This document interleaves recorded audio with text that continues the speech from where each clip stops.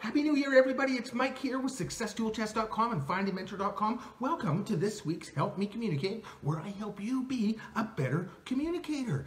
This week, I'm introducing the 11th video in the new multimedia animated contact communications program for becoming a great communicator and a great leader. The 11th video is actually part 8 of Module 2, Out Yourself Wisely. And this week I give you 10 tips for effective and positive body language and facial expression.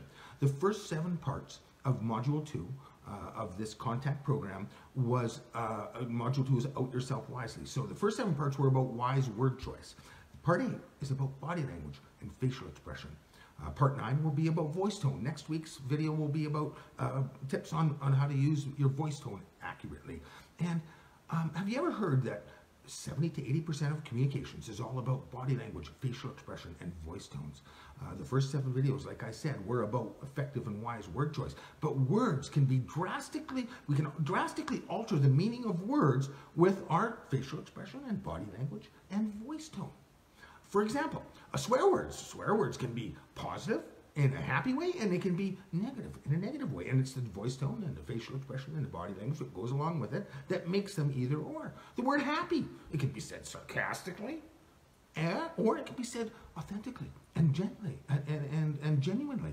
And and so the body language and the facial expression is key. So in this video, we give you 10 tips for effective and positive use of body language to go along with those first seven modules on wise word choice so that the body language matches the word choice so that you become a great communicator and a great leader. Do you want to have a positive effect on your coworkers, on your family, and on your friends and all your associates? Of course you do. The more we have a positive effect on others, the more successes that we attract into our lives. And how do we have that positive effect on others? By communicating effectively.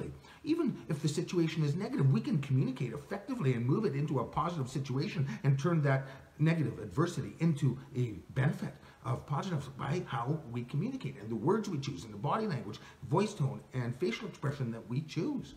Um, these tips that I give you uh, in daily communications, you know, we're all decent communicators. When the things are going smoothly, not a problem. But when the conversation gets crucial or critical or sensitive or corrective, how we communicate is key and how we choose our body language and our facial expression and our words is key.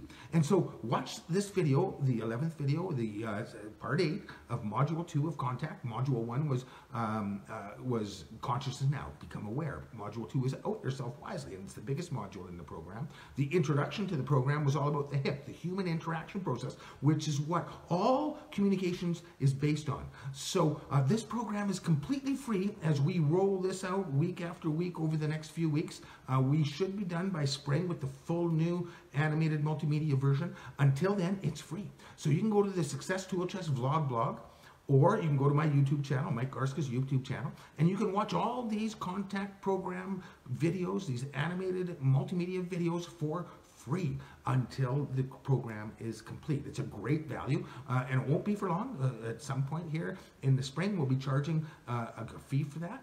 Um, but for now, it's free. So um, go to the vlog blog Success Tool Chest, watch the all the 11 uh, videos that we have, and, and then tune in once a week to get each video as we roll them out.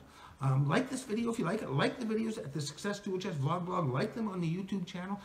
Leave me your questions your comments so that uh, if there's a question, a concern, or a comment, or, or something, a challenge that you're having in, in regards to communication, I'll address it in one of the weekly Help Me Communicate. So put post your comments below, like the videos if you like them, like our pages, and uh, thank you for being here. Thanks for watching. I hope you enjoy the uh, body language, 10 tips for effective and positive body language and facial expression. You go out and make it an awesome day, and we'll see you next week. Bye for now, and Happy New Year once again.